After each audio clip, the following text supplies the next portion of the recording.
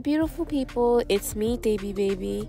Today I'll be showing you how I achieved this skunk stripe Shego inspired bob. I ordered my hair from ISEE Hair off of AliExpress and it was in the length 12 inches. This is a 4x4 HD lace wig in 150% density. As y'all know, the packaging came with a bunch of goodies. I got some press on nails, a makeup sponge, a wig cap, a pair of 3D lashes, and a mask. I got all this, including the wig, for under $70. So, this unit comes with four combs two on the side, one in the crown, and then one in the back. It also has bands in the back, so if you wanted to make the wig a little tighter, you could do that. As you can see, we have some dark knots in the closure area, so I'm going to bleach the knots using the Quick Blue Bleach and 40 Volume Developer. I mixed about 3 fourths of the Quick Blue with about half of the developer to make a not so runny consistency on the closure.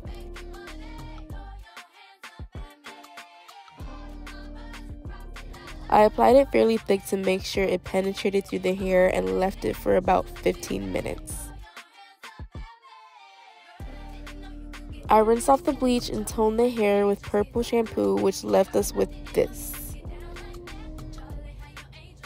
After I'm done washing the lace, I go ahead and start parting the patch that I'm going to dye green.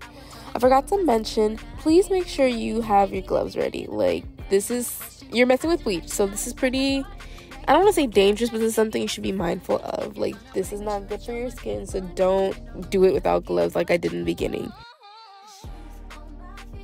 After I part the hair, I go ahead and coat all of the strands in the bleach mixture. I check back about every 15 minutes to make sure the hair was still bleaching okay.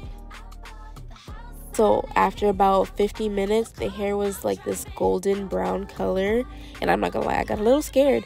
But so I went ahead and rinsed it. Do not forget to tone the hair after you rinse it. And if you can, take the time to let it sit for a while to make sure it truly soaks into the strands and you don't have that brassy color.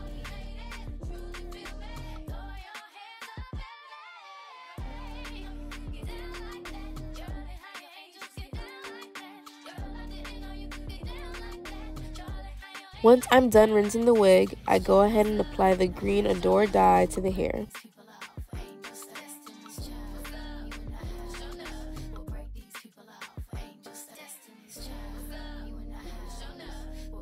Because this was my first time, I wasn't too sure on how to apply the dye, but I think a rat tail comb does best when you're trying to apply it closer to the closure. Just make sure you're being generous with the color. I had to go back a second time with the dye after washing the wig because the first time there wasn't it wasn't as vibrant and I feel like it needed another pass.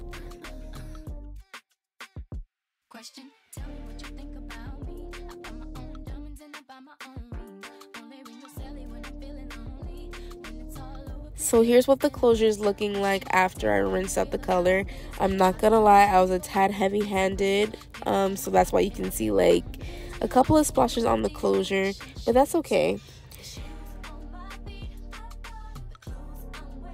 Once I have the color I want, I made sure the whole unit was blow dried. This is what it looks after I reapplied the color and dried it. It's brighter than what I expected, but it's still super cute. Like, I would have expected more of a darker green, but this is still super cute. I love it. I went ahead and installed the wig off camera. Given that this was one of my first installs on myself, I feel like I did a pretty good job. Like, the only thing I can say, y'all, I can't cornrow. I don't know if y'all know that about me. I can't cornrow. So I know the braids underneath were not as crisp. And it's like, mm, it could have been a little closer to the scalp. So I'm just straightening a couple of the pieces in the back. I usually struggle with the back.